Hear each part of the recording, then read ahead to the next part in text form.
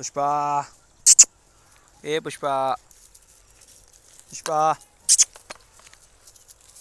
ਚਲੋ ਤੇ ਚੱਲ ਪਿੱਛੇ ਹਟ ਜਾ ਜੀ ਦੋਸਤੋ ਨਿਊ ਐਂਟਰੀ ਕੀਤੀ ਜੇ ਪੁਸ਼ਪਾ ਨਾਮ ਰੱਖਿਆ ਇਹਦਾ ਜੀ ਬਲਾਤੀ ਗੁਲਟੇਰ ਫੀਮੇਲ ਔਰ ਇਨਸ਼ਾਅੱਲਾ ਅਨ ਕਰੀਬ ਹੀਟ ਤੇ ਆਣੇ ਵਾਲੀ ਹੈ ਰੌਕੀ ਵਾਸਤੇ ਲਈ ਹੈ ਜੀ ਠੀਕ ਹੈ ਜੇ ਰੌਕੀ ਕੋ ਹੋਗੀ ਠੀਕ ਆ ਨਹੀਂ ਤਾਂ ਨੈਕਸਟ ਫਿਰ ਕਿਸੇ ਹੋਰ ਕੋਲੋਂ ਕਰਾਵਾਂਗੇ ਬਲਾਤੀ ਗੁਲਟੇਰ ਹੈ ਛੋਟੀ ਹਾਈਟ ਦੀ ਬਿਲਕੁਲ ਰੌਕੀ ਨਾਲੋਂ ਵੀ ਛੋਟੀ ਹੈ ਪੁਸ਼ਪਾ ਤੇ ਕਮੈਂਟਸ ਕਰਕੇ ਦੱਸਿਓ ਕੈਸੀ ਲੱਗੀ ਜੇ ਸਾਡੀ ਪੁਸ਼ਪਾ ਜਨਾਬ। Pushpa, good girl good girl Pushpa. ਠੀਕ ਹੈ ਜੀ ਪਿਓਰ ਵਲੈਤੀ ਹੈ ਰਿਛਾਂ ਵਾਲੇ ਖੂਨ ਦੇ ਵਿੱਚੋਂ। ਚੈੱਕ ਕਰੋ ਬੰਤਰ, ਬਨਾਵਟ, ਚਮੜੀ ਸਕਿਨ ਕੰਨ। ਉਹਦੇ ਦੌਰਾਨ ਵੀਡੀਓ ਬਣਾ ਰਿਹਾ ਨਾ ਮੈਂ, ਤੇ ਇਸ ਕਰਕੇ ਕੰਨਾਂ ਦੀ ਅਟਰੈਕਸ਼ਨ ਦਾ ਸਹੀ ਨਹੀਂ ਦੇ ਰਹੀ ਹੈਗੀ। ਨਾਲੇ ਕਿਆ ਦੋਸਤਾਂ ਦੇ ਨਾਲ ਪੁਸ਼ਪਾ ਸ਼ੇਅਰ ਕਰੀਏ। ਠੀਕ ਹੈ ਜੀ, ਹੁਣ ਖੜੀ ਜੇ। ਆ ਬੱਕਰੇ ਚਰਾ ਰਹੇ ਆ ਜੀ ਅੱਜ।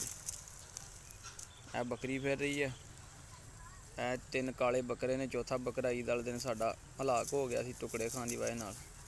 ਇਹ ਲਾਲ ਪੱਠ ਆ ਜੀ ਤੇ ਇਹ ਨਿੱਕਾ ਕਾਲਾ ਵੀ ਲੈ ਲਾ ਬੱਕਰੀ ਦਾ। ਤੇ ਇਹ ਜੇ ਪੁਸ਼ਪਾ। ਪੁਸ਼ਪਾ, ਨਾਂ ਦੱਸਿਓ ਕਿਹਦਾ ਰੱਖਿਆ ਜਾਂਦਾ? Rocky and Pushpa.